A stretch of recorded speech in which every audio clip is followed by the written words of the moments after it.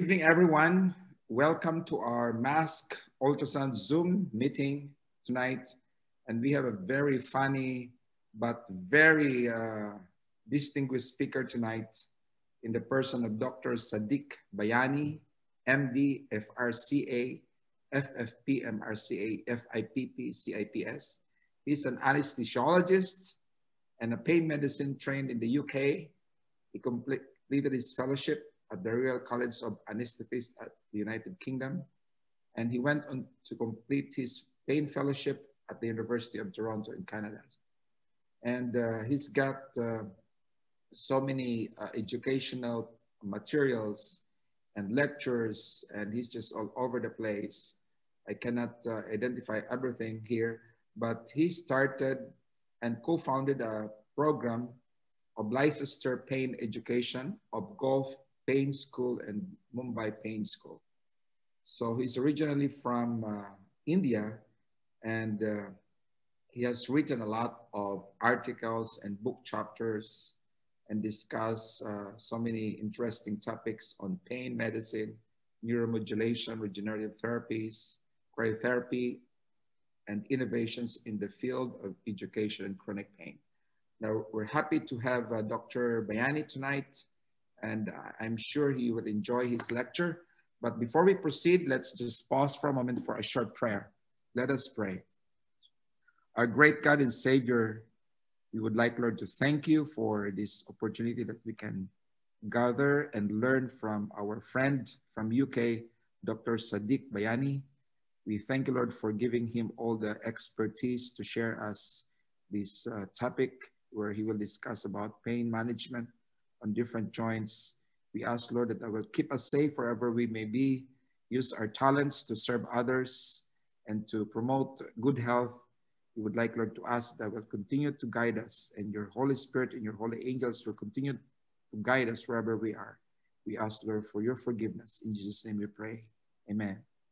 So, ladies and gentlemen, introducing to you Dr. Sadiq Bhayani from the Thank UK. you so much, Jim.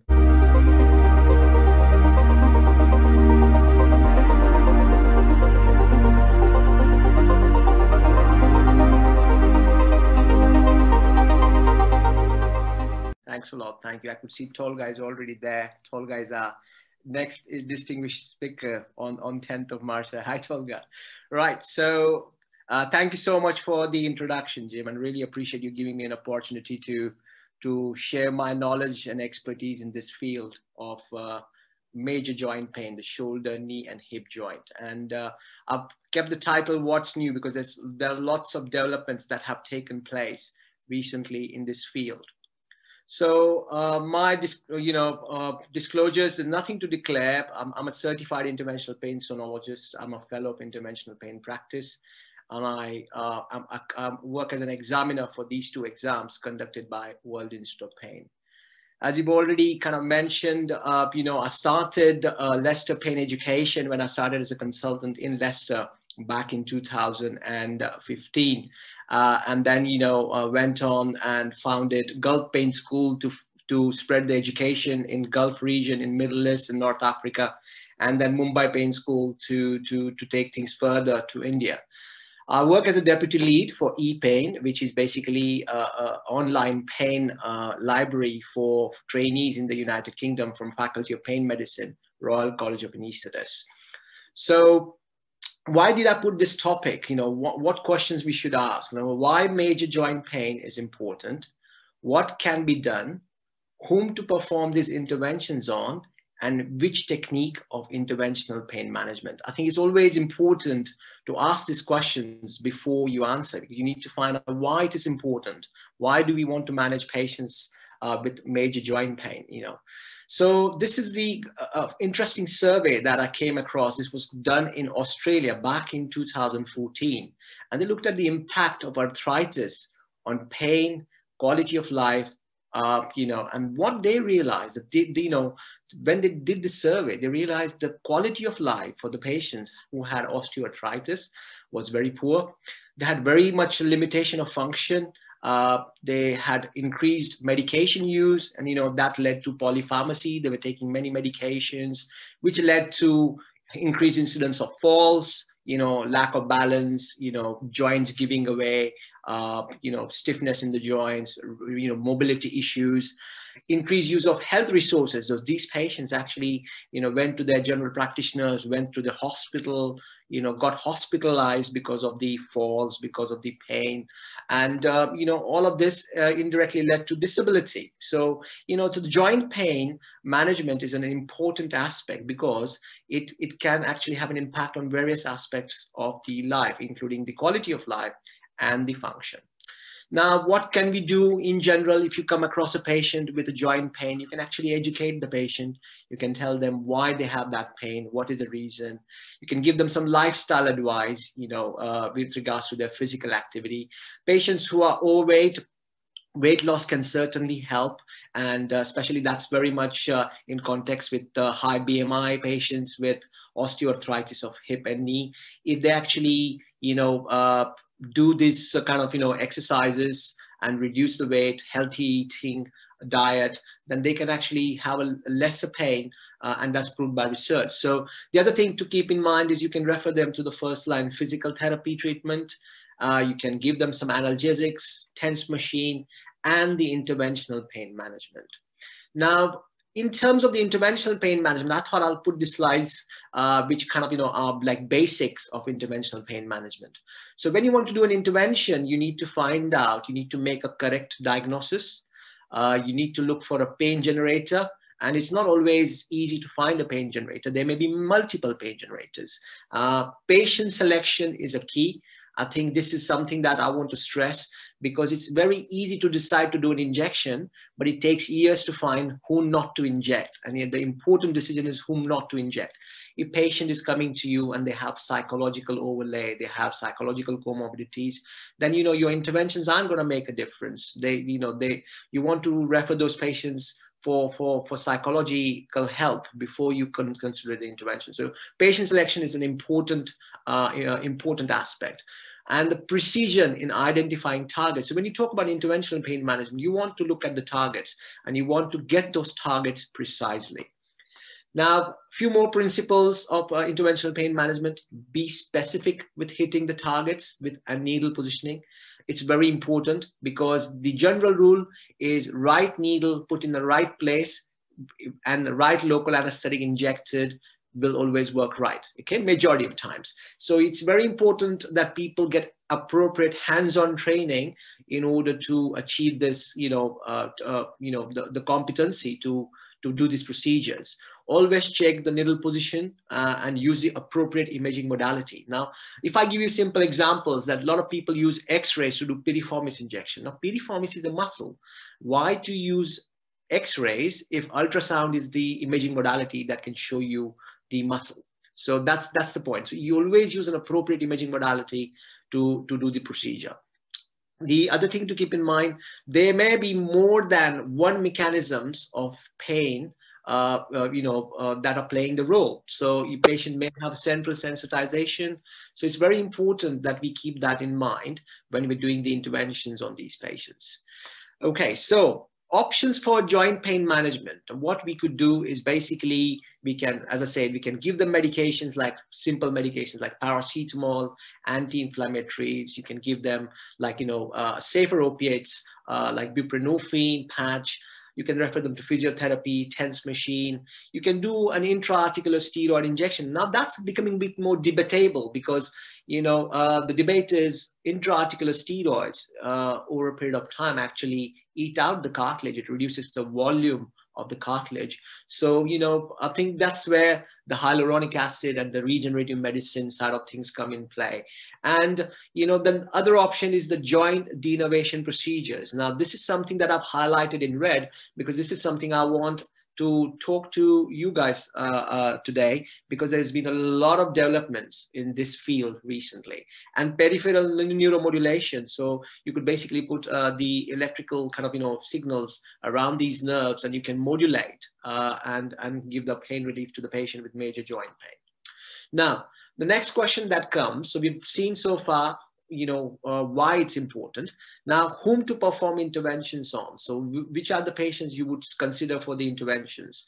So arthroplasty not appropriate. And, you know, given that we live in a population, we live in an age where, you know, people are actually surviving uh, at a, at a, at a later age, you know, an average age uh, in the UK is about like, you know, uh, 78 plus you know so people are basically you know uh, able to survive longer age and uh, but sometimes uh, the longer age survival has also got multiple comorbidities associated. And uh, sometimes these patients might not be able to undergo a, a, hip or knee replacement or a shoulder replacement. So those kind of patients, you can consider these procedures. Uh, patients who do not want surgery, and you know, it, it all depends on the society and the patient's belief. A few patients would say, you know what, I can, I can live with pain, I don't want the surgery. So, you know, those kind of patients, you can consider this procedure patients who you think aren't going to be able to be undergoing surgery in a short term. So these are young patients, you know, patients who have early osteoarthritis, where surgeons have told you know what, you're too early, you're too young to have a surgery, or patients who have got, you know, cartilage tear and they've had a repair of cartilage, but still got the ongoing pain those kind of patients. And I think the joint interventions, the major joint denervation procedures are going to be useful because of the COVID delays. You know, in uh, in, in our country, national health, the, the, the system came to a complete stall uh, because of the COVID and all our joint replacement surgeries have been kept on hold and there's a long waiting list. And these patients are now going to be, you know, looking at the options to help the pain uh, whilst they're undergoing a major surgery. So it's, it's going to be one of the options available for them. Uh, alternatives to pharmacological management. So few patients do not want to take medications. They would rather have an injection. So those kind of patients, you can consider these procedures. And uh, patients who've had surgery, like joint replacement, but then still continue to have chronic post-surgical pain. Uh, those are the patients you can consider these interventions. Now, which techniques of intervention? So I'm talking about three major joints here shoulder joint, knee joint, and hip joint. So for shoulder joint, we knew that in the past we targeted suprascapular and axillary nerves, but there are these two nerves that have been recently being kind of you know studied quite in detail through cadaveric studies: the lateral pectoral nerve and lower subscapular nerve. So these are the, the nerves that needs to be targeted in addition to the suprascapular and axillary. And I'll tell you more details as we go along uh, later on.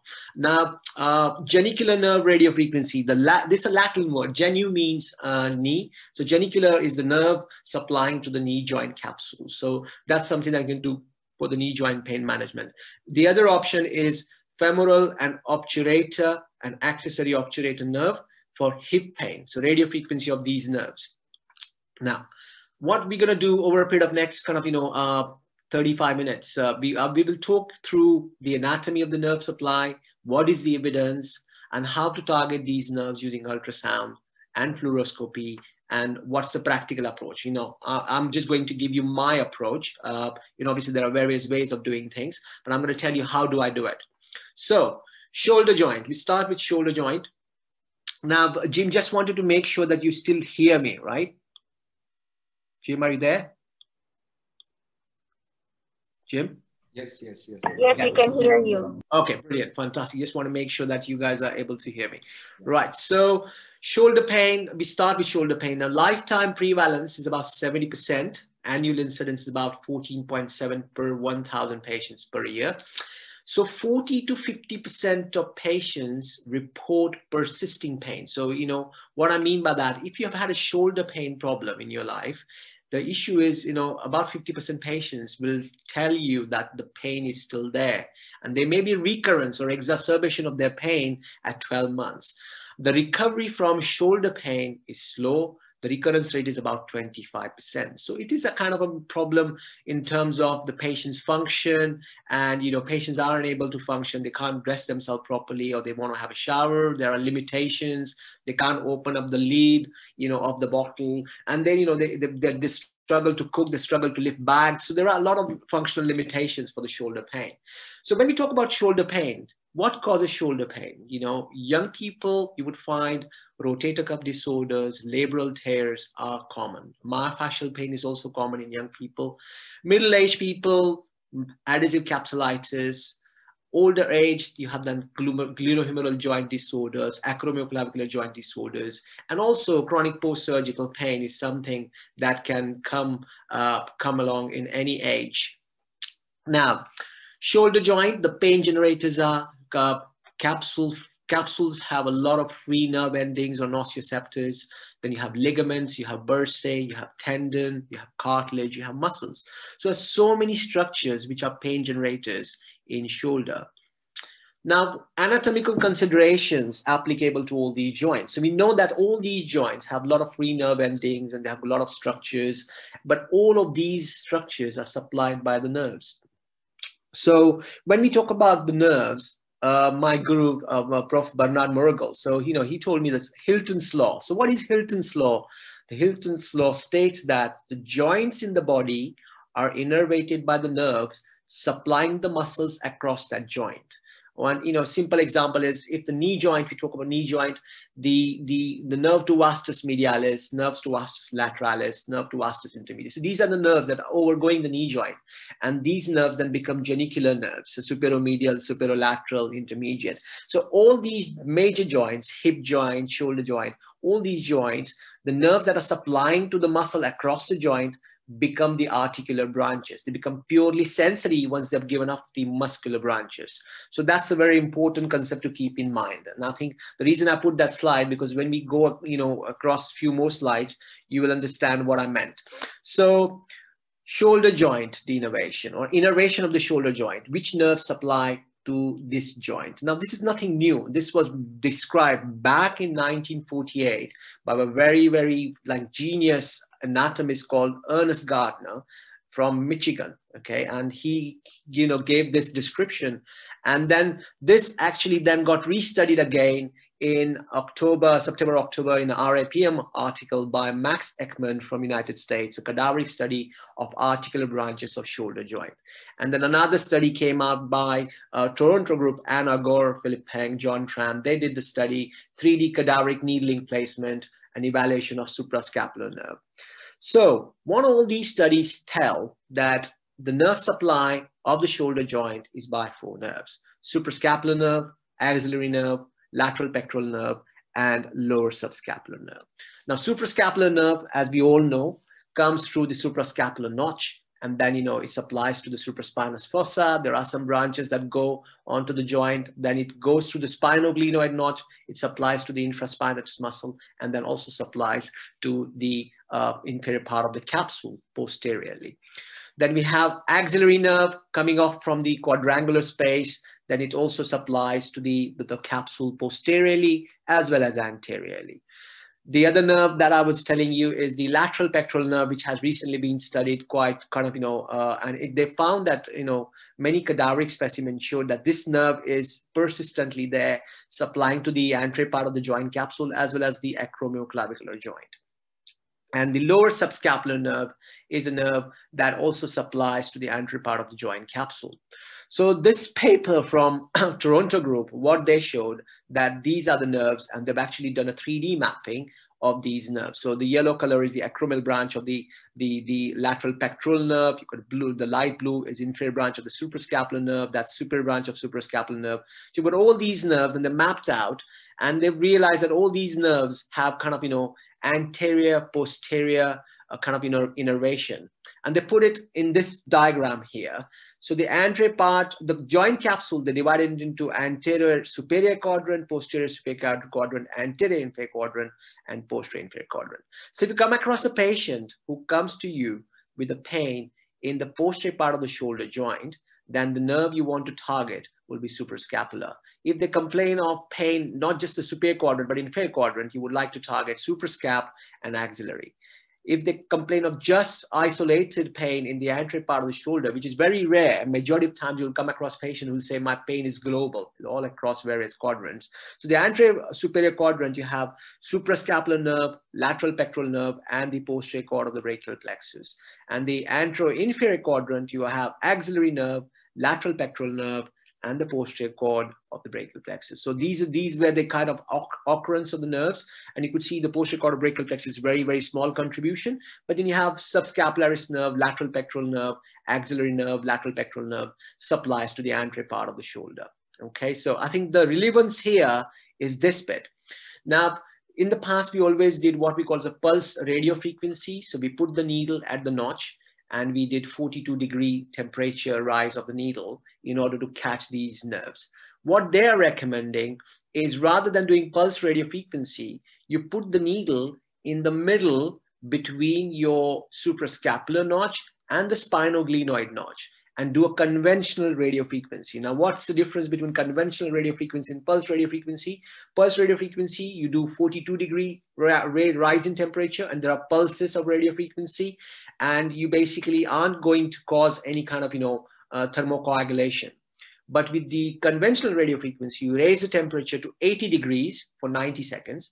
So you basically do cause some thermocoagulation. So, you know, the, the in the past, we were worried that if you do a, a conventional radio frequency, you know, you're going to get a weakness of supraspinatus and infraspinatus. What they're recommending, if you do a, what we call the midpoint technique, then you can basically, you know, spare this medial trunk of the suprascapular nerve and you can basically get all the articular branches going to the shoulder joint, which is kind of a pointed with my pointer here. So that's what they're recommending. So that's the that's the kind of their recommendation. So conclusions are shoulder joint, articular branches of suprascapular nerve and axillary nerve insert into the capsule overlying the glenohumeral joint posteriorly. So that's the major joint supply. You know, you do have anteriorly axillary nerve that supplies to the inferior part. But the lateral pectoral nerve and, and the lower scapular nerve uh, are, are, actually contributing to the anterior joint uh, capsule. The conventional notch technique, which I just talked about, uh, you know, captured both lateral as well as medial trunks, where if you do a midpoint technique, you can capture only the lateral trunk, which will spare your supraspinatus muscle. And the relevance is do the conventional radio frequency in the suprascapular of the suprascapular nerve in the supraspinous fossa at the midpoint. Now, if you are not clear about that, few more slides will make this much more clear. Now, what's the evidence? Is there any evidence of these procedures? Okay, so this is a recent kind of an article this year, January, came out on systematic review and meta-analysis of radio frequency procedures on shoulder joint. Okay, this is also from Toronto. Now, what they found, radio frequency treatments targeting sensory innervation of the shoulder joint affected by the degenerative conditions have potential to reduce pain. Okay, and they talked about basically pulsed RF. And what they're saying, they only reduce the pain, but it does not suggest uh, functional benefit So the people's function doesn't improve. And what they're suggesting is high methodological studies are needed. Okay, so that's that's something that that's come out of that systematic review. So we've talked about the anatomy, we've talked about the the uh, the sort of evidence, and now we're going to go on to the practical approach. So what do we do? Options we have, we could do suprascapular nerve block, axillary nerve block, lateral pectoral nerve block, and lower subscapular nerve block. Now, before you do any of these blocks, there is a two-step process that I use in my practice. The first step is use a local anesthetic. So target suprascapular nerve or axillary nerve with local anesthetic.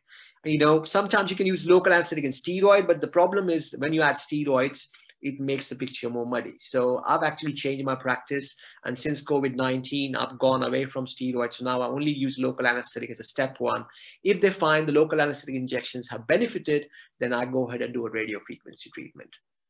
So what outcomes I look for? I look for reduction in pain score, look for improved range of movements, improved shoulder function, increased Oxford shoulder score, and patient satisfaction. So all these the things I look for. So once I've done the block, before I do the block, I ask them to move the shoulder. I'll assess how much shoulder movement is there.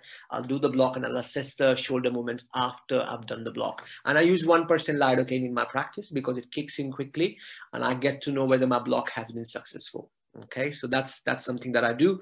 And I give them a pain diary and you will be surprised, even local anesthetic injections can last for good one week okay so that's something to keep in mind. And you ask the patient to fill in the details like are they able to sleep better? Are they able to lie on that side better? Are they able to you know function better? Are they able to open the bottle's lid? Are they able to kind of you know uh, you know have a shower properly? So you know you give them an oxford score and if there is an improvement in the oxford score then i consider them for radio frequency treatment. Now how do we target these nerves? So practical approach. Ultrasound guidance you put the ultrasound probe And I usually start at the spine of the scapula and then I move the probe in and I look for the suprascapular fossa. And this is what you will see. You will see the trapezius muscle, supraspinous muscle. And basically, you know, if you tilt the probe looking at the suprascapular notch, then you'll be able to get the neurovascular bundle where you will see suprascapular nerve along with the artery and the nerve. So that's the suprascapular nerve block. And nowadays, I don't perform the block in the notch area. I just put the needle down and put five cc's of 1% lidocaine in that region to perform suprascapular nerve block.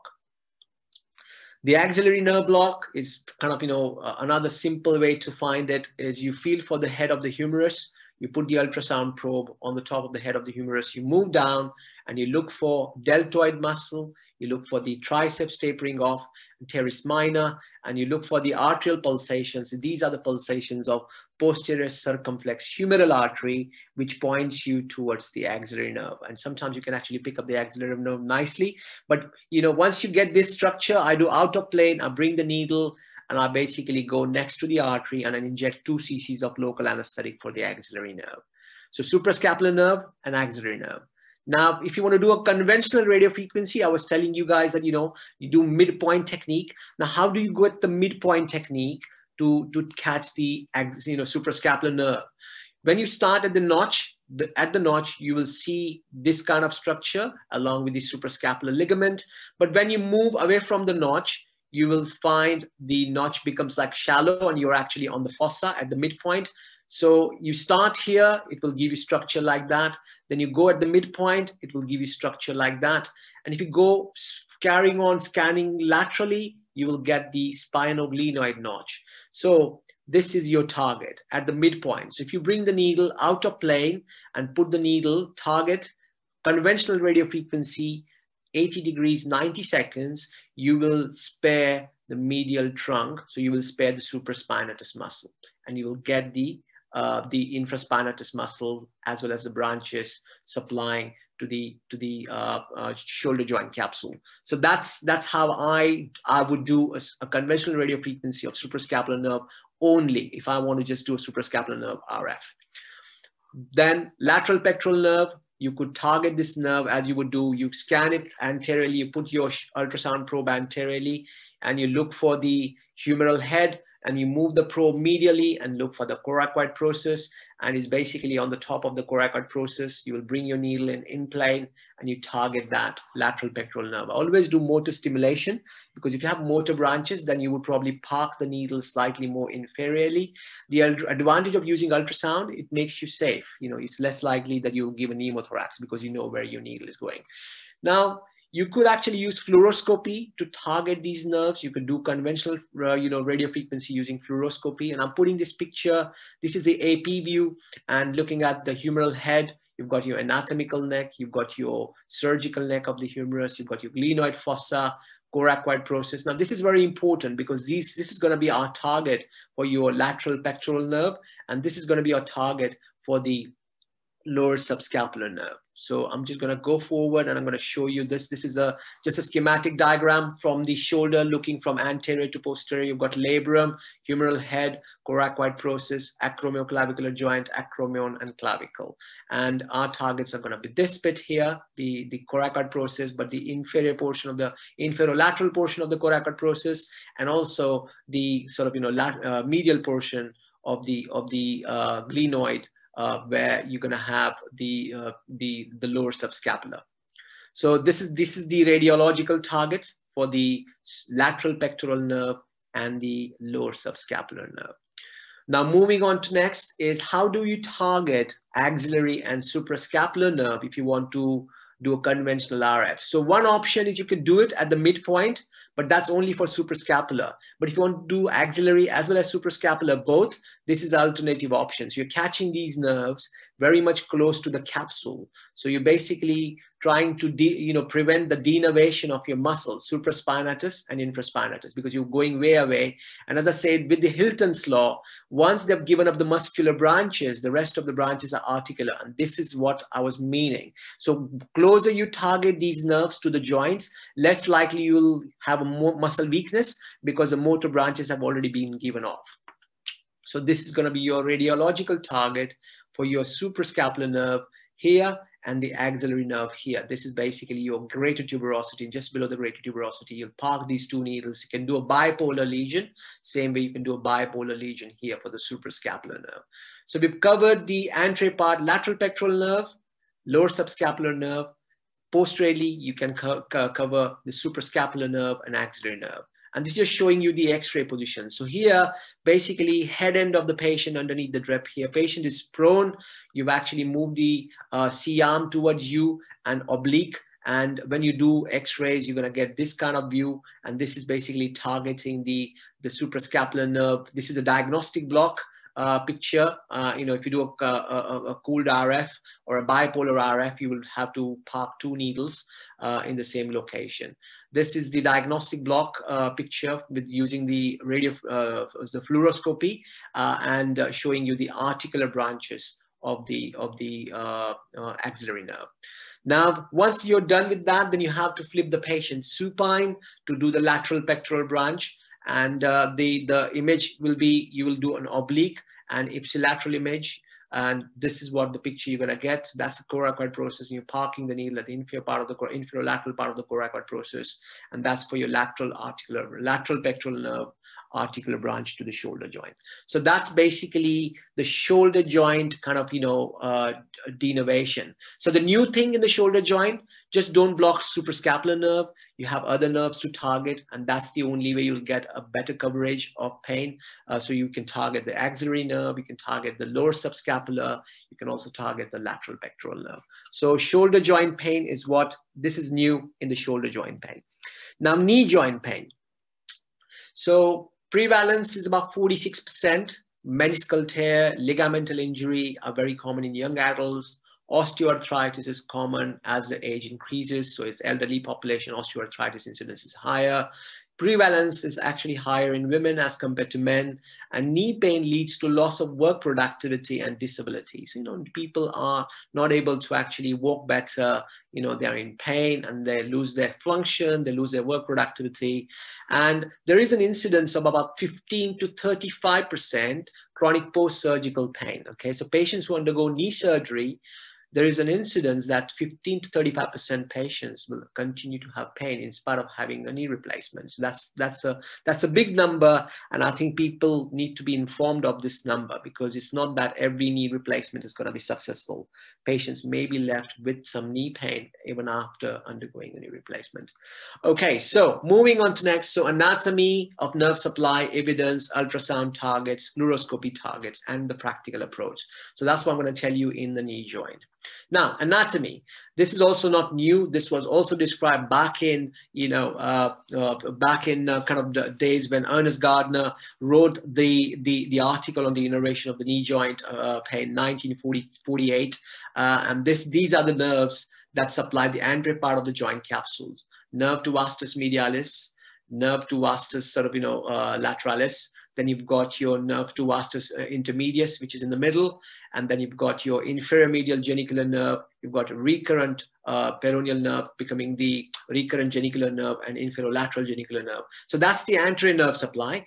Posterior nerve supply, you have got the branches from the tibial, common peroneal, you've got your posterior obturator nerve. They all form a plexus and supplies to the posterior joint capsule. And they also go anteriorly and merge here as a recurrent Uh, uh, uh, genicular nerve, inferolateral genicular nerve. So there's a huge plexus and cross innervation of these nerves. So when you talk about knee joint pain, I ask the patient, where is your pain? If patient says my pain is in the back of the knee, you're gonna find it difficult to give them any relief by doing these nerve blocks. These nerve blocks, as well as radio frequency, only help if they have anterior knee pain because these nerves supply to majority the anterior joint capsule. Posteriorly, you have a plexus, which is difficult to target. So anterior joint capsule, target these nerves. So six nerves, as said, superolateral, superomedial, inferomedial, and these are the three commonly performed ones. Then you have lateral recurrent branch, inferolateral. We don't target these, and this is something new I will tell you later on, because these nerves are very, co very close to common peroneal nerve, and people are concerned that patients may get a foot drop. So that's why we always target these commonly, superolateral, superomedial, and inferomedial. and a lot of people now are targeting intermediate. Now, we know from the, the study from Franco on cadaveric study, a cadaveric dissection, that these nerves have variable proximal trajectories. What I mean that their location varies proximally, but they have a distal consistent point where you know uh, they the, is, and the point is the, the, junction of the shaft and the condyle. And uh, what I mean by that, and I'll show that to you in a minute, is if you look at this image here, this is the femoral shaft and that's the femoral condyle. And you can consistently find these nerves in the cadavers at this junction, okay? So junction of the shaft and the condyle, same here, junction of the shaft and the condyle, junction of the shaft and the condyle of the tibia. So that's a tibial condyle, that's a shaft. So if you actually put the needles at these locations, you're more likely to target these nerves as compared to going proximally. Now, other things that we were doing that we were parking these needles in the middle of the sort of, you know, lateral view, middle of the shaft of the, of the femur and the middle of the shaft of the tibia. Now, what's new then? You know, what has changed over a period of time? So there are a few papers that have recently come out which looked at the innervation again. And what they found is the branches of vastus intermedius then gets divided into two. It gets divided into lateral branch and the medial branch. The medial branch then goes and supplies to the medial joint capsule along with the sort of, you know, superomedial genicular nerve. So, so far what we were targeting, we were targeting the medial branch of the uh, sort of, you know, in uh, vastus intermedius. The lateral branch goes and supplies to the lateral part of the joint capsule, but you also have a separate uh, nerve, which is the lateral genicular nerve. So let me show you a bit more pictures and that will make things more clear. So this is what we were targeting so far, okay? And what they say that this is actually the medial branch of the vastus intermedius. If you want to truly target the uh, superolateral, uh, sorry, superomedial genicular nerve, you need to go inferiorly and posteriorly. And the landmark here is the adductor tubercle. So this is something new. So the new technique, just don't park the needle there and do the radio frequency. You have to park another needle more inferiorly on the top of the adductor tubercle and posteriorly to get these branches of the superomedial genicular nerve. Another new thing here this is the lateral side. So basically you're looking at the superolateral genicular nerve that gets further divided into deep branch, superficial branch, and intermediate branch. But then this was conventionally what we were doing. We were targeting this particular point, And what it did, it only got us the lateral branch of the vastus intermedius. So as I said, the nerve to vastus intermedius then further divides into medial branch, and the lateral branch. So whatever we were doing, we were just only targeting that nerve. We were missing this point. This is the point to go for catching the superolateral genicular nerve. The supero inferomedial genicular nerve, it gets divided into anterior branch, posterior branch, and intermediate branch. And this is where we were targeting the nerve, which is the right thing to do, the middle part of the shaft of the uh, uh, tibia. So putting all that in context, you know, this was our old target. This is the new target. So just don't park the needle there. You also have to park another needle just about the adductor tubercle. We were only parking needle here on the lateral side. You don't park just there. You go posteriorly and you do the lesioning posteriorly to get your superolateral branch of the genicular nerve. Then inferomedial, the target still stays the same. Okay, and that's the inferolateral kind of, you know, genicular, recurrent genicular nerve. And this is something that's new as well. People are now targeting this nerve at the widest part of the fibula. So you use the x-ray and you put your needle there and you can cause a lesion at that point to get the recurrent genicular nerve. Now, what's the evidence of all these blocks? It all started back in 2011. This was a RCT from uh, uh, Choi, uh, which said that not only it improved people's pain, it improved Oxford knee score, it improved their function. So, and then the recent narrative review by uh, my colleagues, uh, sort of, you know, Leo, you know, um, and friends, Leo Kapural, they've done the cool radio frequency on the patients uh, and they found that it actually improves the pain relief as well as function as compared to local anesthetic and steroid injections for the knee osteoarthritis. So there is a good evidence supporting that, and it's RCTs supporting that. Now, practical approach, how do I do it? And I, uh, we, we actually at Gulf Pain School teach this technique called combined ultrasound and fluoroscopy technique or cuff technique. And that's what I do so my technique is try and see if patient can do figure of four. So, you know, I usually mark the leg, mark the knee, put the drape underneath, clean the area, treat this like somebody's undergoing a knee replacement, okay? Because antisepsis is very important, you know, because you're dealing with joints. And the rule is if there's an infection in the joint, it doesn't go away. Okay, so you would rather avoid it in the first place. So try your best to do full, full antisepsis, clean the area properly, have gown, glove, mask, you know, because you, you know, uh, you don't want to invite any infection. Now you drape the area after you've draped. Now you look at this setup here. This is what my setup is. So I'll have an ultrasound machine parked opposite. I'll have the x-ray machine parked opposite and then I'll clean all the area and then I'll drape that. Once it's all draped, then I will do another cleaning again the reason for that is that's just before my needle insertion. I've done one more clean because that way you've done a double prep. Now, this is what I use in terms of the drugs. So lignocaine as a local anesthetic, you rarely give any sedation to the patient. The whole procedure can be done under local anesthetic, but judicious amount of local anesthetic.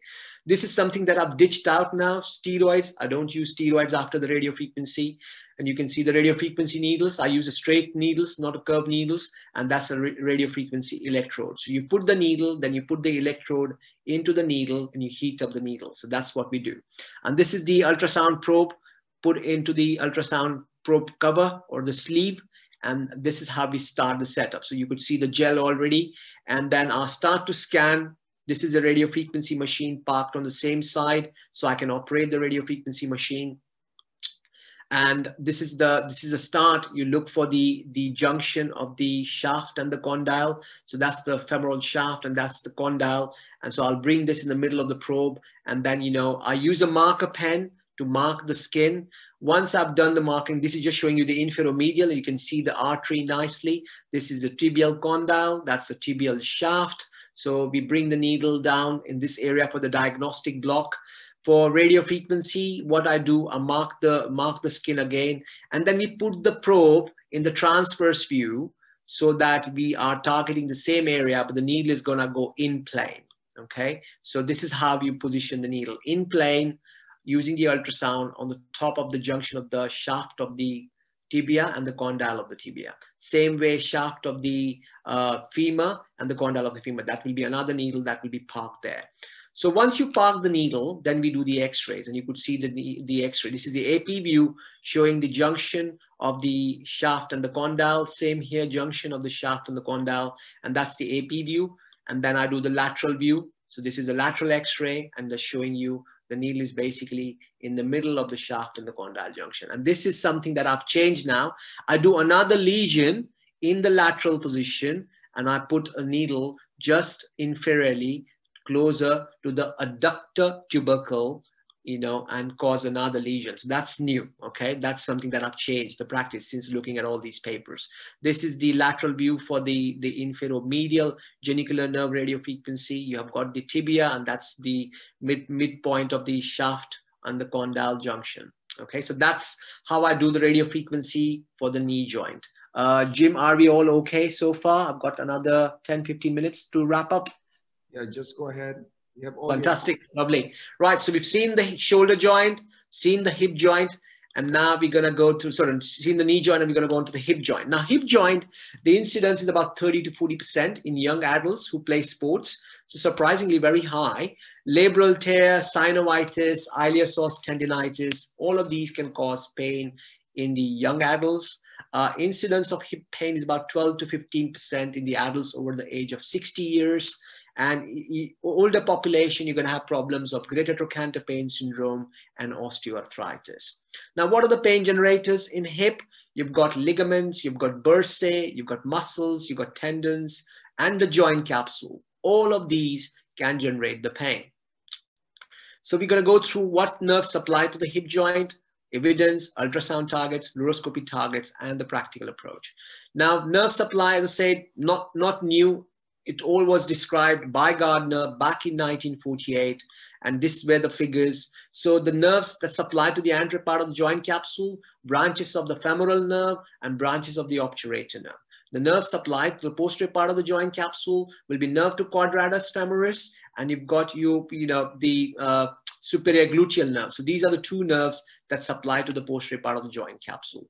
Another picture that was described back in 1976, showing you the posterior part of the nerve supply. You've got nerve to quadratus femoris, you know, and then you've got uh, a superior gluteal nerve. So this is what the, what they've done is basically piriformis muscle you can see, and that's that's that's what is showing you that this particular nerve supplies to the uh, the the posterior part of the joint capsule of the of the hip, and uh, they've actually restudied this again, uh, uh, and there is a new paper out uh, from the same group who did their studies on the shoulder, Max Eckmann, and they found that the nerve to quadratus femoris is very kind of common nerve supplying the posterior part of the joint capsule.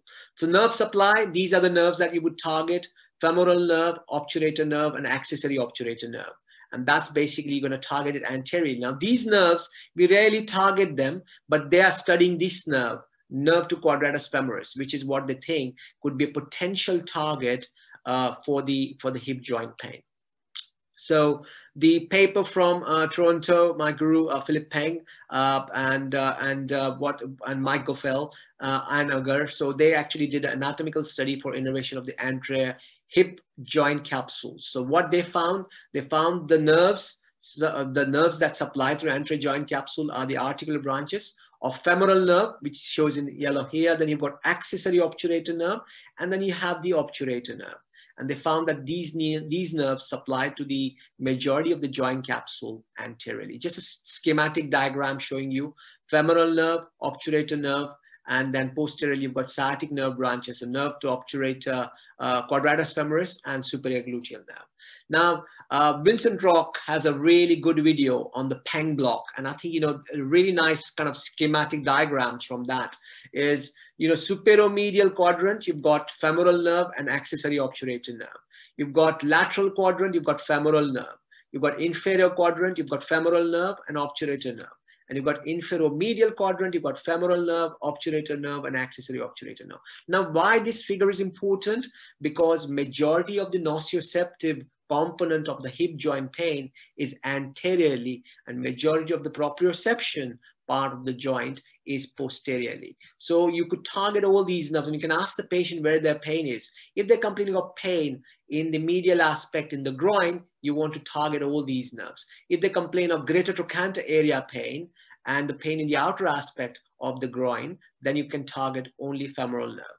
Okay, so and, and the obturator nerve. So this is what I meant anterior capsule, femoral obturator and, and, accessory obturator nerve. Posterior capsule, you've got sacral plexus, you've got nerve to quadratus femoris and superior gluteal nerve. And as I said, posterior capsule has more kind of, you know, uh, uh, proprioceptive component. Anterior capsule has more kind of nociceptive component. So that's why we always target the nerves anteriorly and, you know, ignore the posterior part. So the innervation, as I said, the articular branches, you want to target femoral nerve if they have greater trochanteric pain, obturator nerve if they've got groin pain or thigh pain.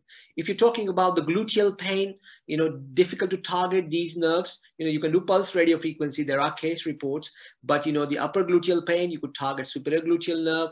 And if they're complaining of lower gluteal pain, it's nerve to quadratus femoris. Okay, so evidence. Now, what is the evidence? This is another good narrative review from Anuj Bhatia and, and Philip Peng talking about the radio frequency procedures for chronic hip pain.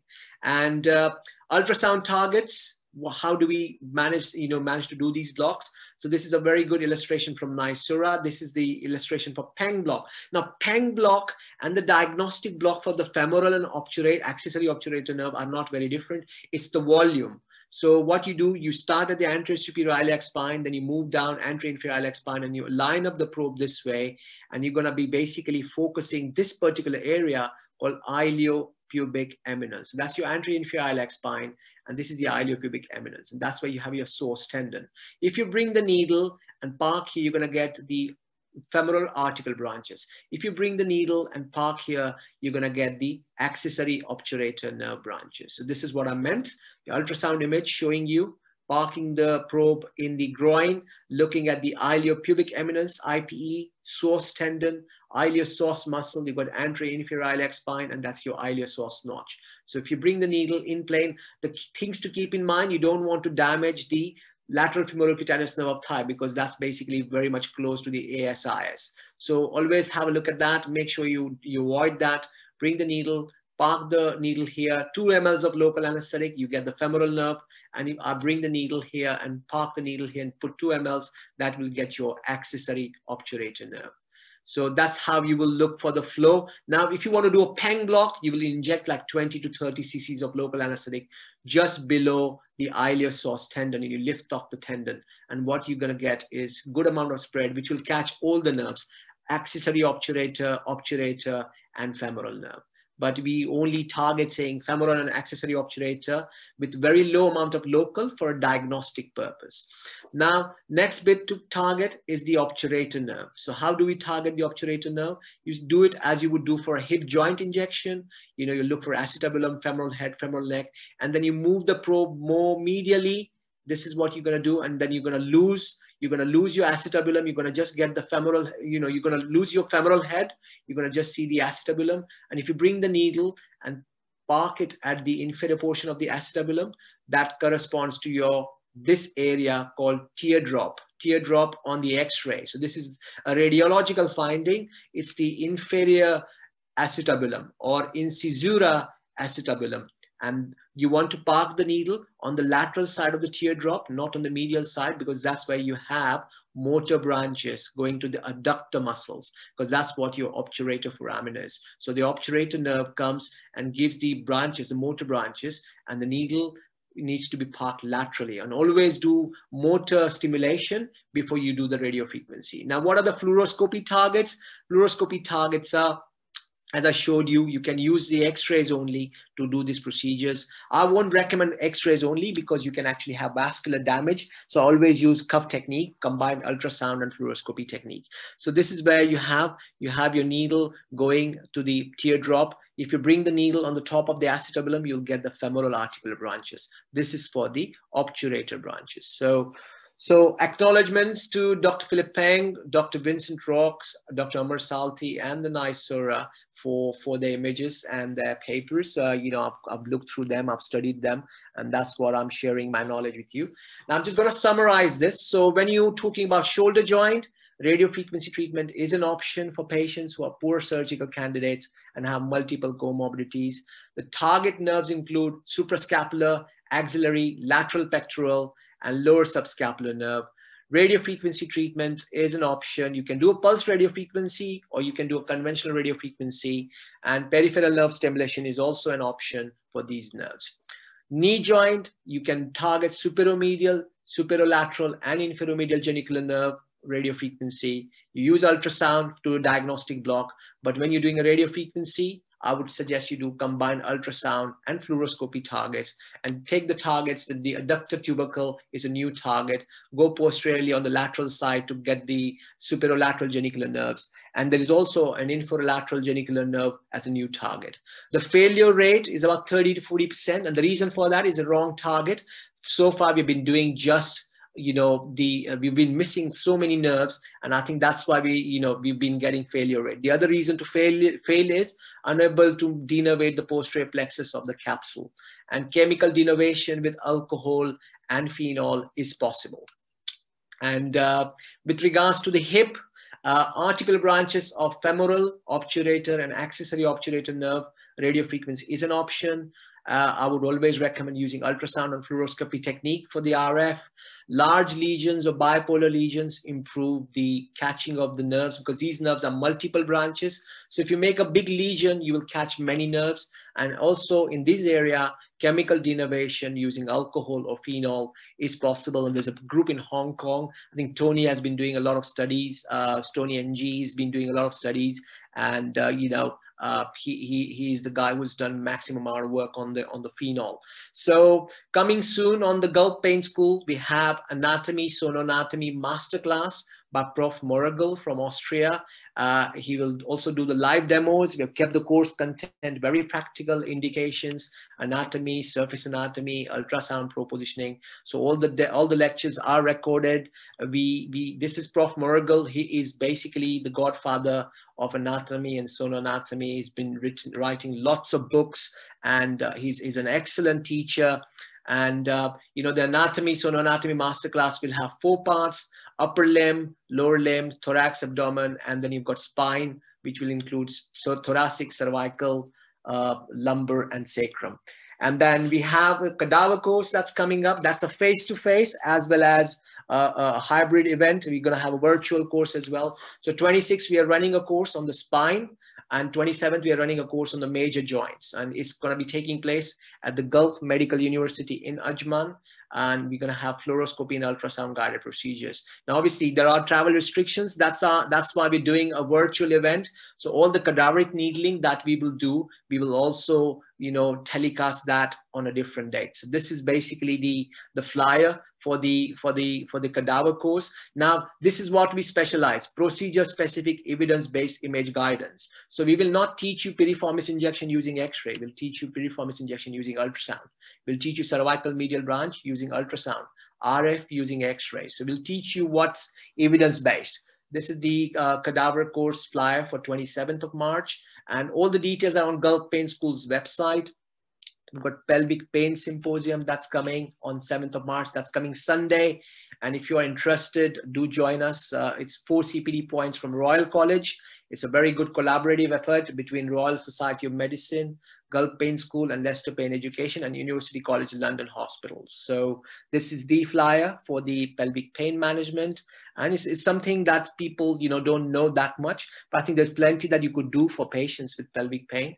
We've got webinars on uh, pain education. As uh, Jim mentioned, I've been working hard to have a big library of all these educational resources. So we've got lots of webinars that we've done, and they all are available on Painflix. So similar to Netflix, we, we, are, we are basically launching Painflix on 20th of March, uh, which will be our website with full amount of video content uh, for you guys to, to access. So, and this is our YouTube channel, uh, Leicester Pain Education, where you have quite a lot of other educational uh, material that's available. And we've got a playlist and you could see that we have divided the playlist in lumbar spine, lower limb blocks, peripheral nerve, upper limb blocks, you know, thoracic truncal blocks. So I've gone through loads of YouTube videos and I've selected the good ones out. And we've also got, you know, basic pain training um, uh, videos as well. So, you know, do, do subscribe. It's free. It doesn't cost you. And thank you so much. Uh, really appreciate you guys giving your time.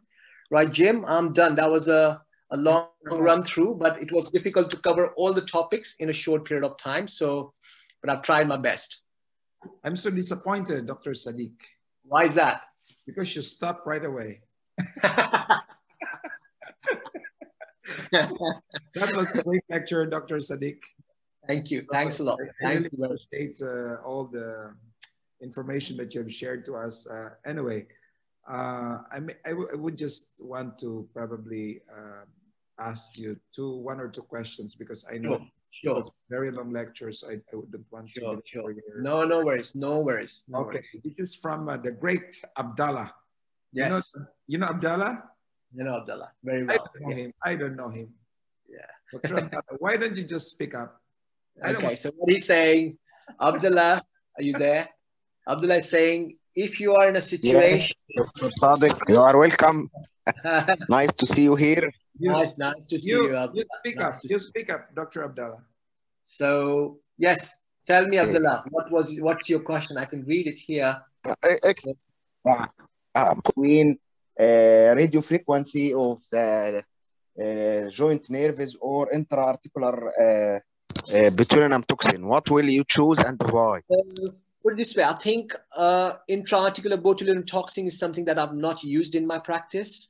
And, uh, you know, I mean, there is an evidence, but I think currently the evidence on, you know, use of radio frequency treatment for the nerves is much higher. You know, there are plenty of RCTs, which back up. So any treatment strategy you want to use, you need to find out, is it safe? Is it being practiced well in the various parts of the world? Is there enough evidence? Does it improve not just the pain, but the function? That's another important bit to keep in mind. I mean, you can give them pain relief, but if they're not able to move their arm, then that's no good. You want to make sure when you do a block, the block has been followed by improved functional outcomes. So gone those days when we were just doing pain scores. You know, if you take any good article and submit to a journal and it just focuses on pain scores, they'll check it out of the window. They'll say, you know what, what's, what's the functional improvement? Has the patient managed to sleep better? Has the patient managed to reduce their medications better? Has the patient managed to walk better or, you know, or use their shoulder better? So you want to improve the functional, you know, functional side of things. And I think for radio frequency treatment, given that there's a good evidence, that's what I would choose instead of a, instead of a Botox. Because, you know, number one is I haven't used Botox in my practice for the joints. I use Botox for other conditions, not for intra-articular uh, injections. And number two is there because there is a good evidence for the radio frequency, I would go for radio. Okay, that's that's. Thank you that's very much, dear. No, Okay, thank, thank you. Thank you. Very much, dear Doctor, Thank you. for your uh, comprehensive. No, thank you so much, Abdullah. Thanks for attending. Thank you Thank for you. the prince, the prince of Egypt. Yeah, That's the, the, the prince of Egypt, uh, Dr. Sadiq. welcome. That's from the prince. Thank you, Doctor. Thanks a lot. Thank you. I think he had some problems with his connection, so that's why we could Yeah. hear him, and then you know got disconnected. Right. That So- was very, that was a very, very excellent lecture. I cannot uh, think of a, of a question because that was just too good for me. No, thank you so much, uh, uh, Jim. It was thank you for an opportunity, Yeah. and uh, look forward to see you in person in future. You think your work is done? I will give you more work to do. No, no, no.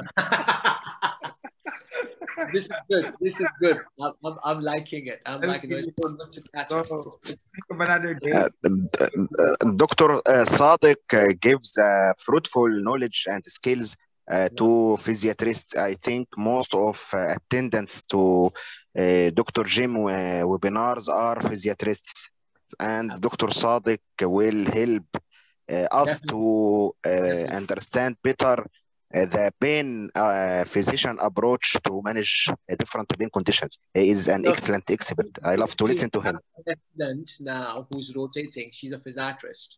So we call it rehab medicine in the UK. And I told her, you know what, you're doing an attachment with us. And I want you to make the list of clinical conditions that you want to manage it effectively. So she's given me the list. And I think shoulder is something that's very much kind of an issue for physiatrists. And she works in a spinal unit as well. So she she gave me a list of conditions. She said, what, I want to do these kind of procedures to help patients. I said, fine, you know, I'll help you out. So why not? Thank you very much. Thank you. Thank Thanks you, a lot. Dr. Thank Sadiq. Thanks, Abdullah. Thank Dr. you very much. One, one last Yeah. question, if, if you want mind, one more question. No, no, no, pro- no problem. No problem. One of our uh, attendees is asking, uh, usually how many uh, months is the duration for one session of rad- radio frequency?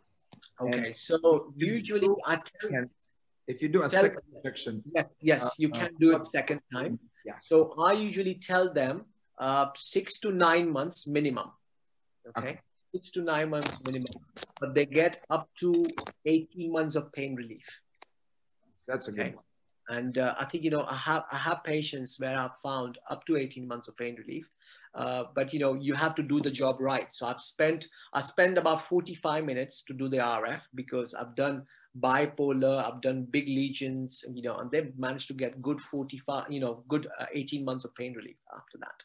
So not everybody's same, but I tell them minimum six months, maximum 18 months. So it could be between six to 18 months you know, local anesthetic steroid injections will give about three months or three and a half months, but RF will prolong that to six months. So you get kind of, you know, twice the pain relief. Yeah. Okay, thank you very much, Dr. Sadiq.